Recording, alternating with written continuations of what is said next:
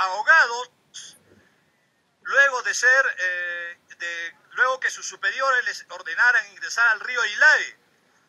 ¿no? Después, luego que sus superiores les ordenaran ingresar al río Ilave, los comuneros han sacado a varios de ellos porque muchos de ellos no sabían nadar. Y en estos momentos los comuneros Aymara le están dando el auxilio necesario. Hay dos que están con cuadros de hipotermia y hay uno que han sido llevados eh, al centro de salud de Ilave y los pobladores los están eh, ayudando de todo, de todos los, de todos este, los cuidados necesarios.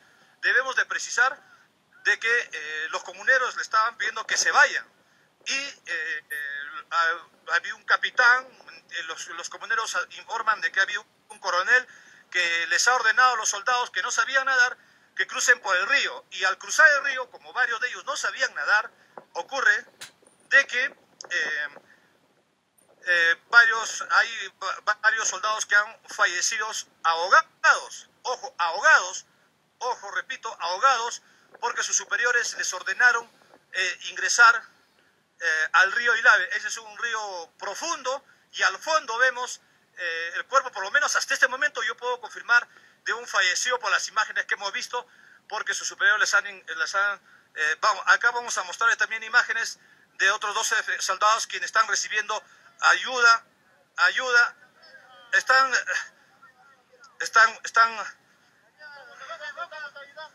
ahí los comuneros los están ayudando, los, los comuneros los están ayudando a los pobladores para darle los primeros auxilios. Perfecto.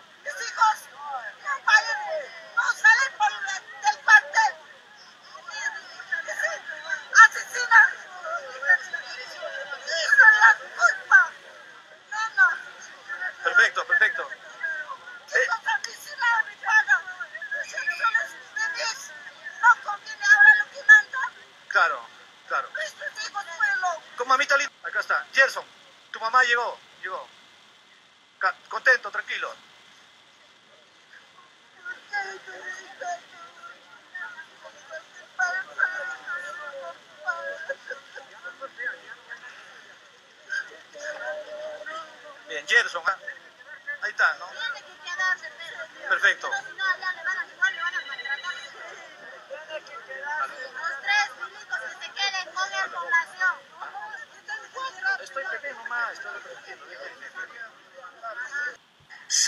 los gobiernos tiranos.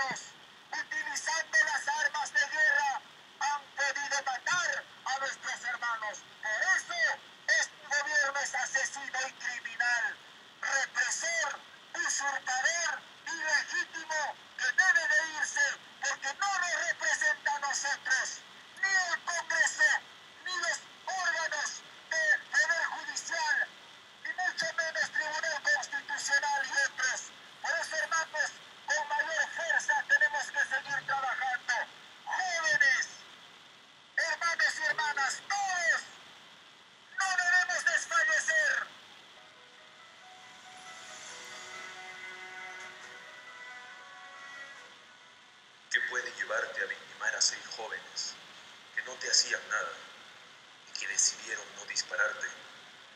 Una ideología, la idea de una nación con sus propios códigos, ilegales todos, pero en ese afán acabaste con tus hijos, unos valientes soldados que en vez de tirar piedras, decidieron servir a su país, en el ejército de todos los peruanos, que en vez de prefirieron ser arrastrados por el agua hasta la eternidad, pues ellos en el corazón de nosotros serán eternos. Pero tú, un asesino sin escrúpulos, el Perú será fuerte, tus delirios contigo se irán extinguiendo.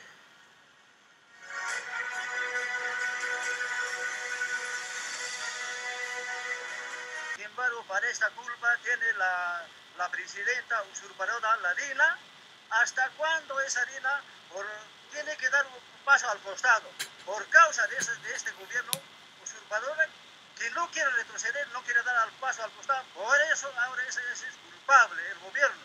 Ahora a los, a los militares, a los policías, a los jefes, a, los coroneles, a los comandantes, le dan, tendrán un convenio para aumentar sueldo, pero sin embargo mi hijo ¿acaso mi hijo le van a aumentar más que sufren en esa movilización, en ese apoyo, sufren la tropa?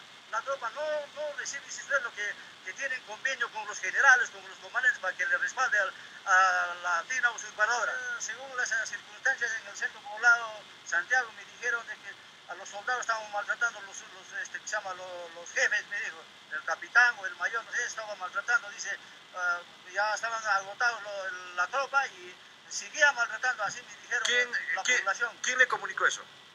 Hay unos señores del centro poblado me avisaron. ¿De qué centro poblado, maestro? Centro poblado de Santiago, Chile. Santiago, Chile. Santiago Central, sí. Santiago Central. Ellos le comunicaron que los oficiales estaban, digamos, en sus palabras, maltratándolos. Maltratando a la tropa. A la tropa.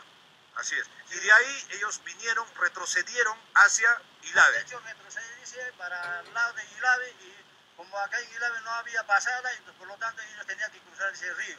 sobre eso yo digo, así como hace rato mencioné, de que para este motivo tiene la, la señora usurpadora, la usurpadora, eso tiene la culpa. Ahora, posteriormente, sí, muchas cosas pueden pasar acá en nuestro país. Eso nosotros no podemos permitir.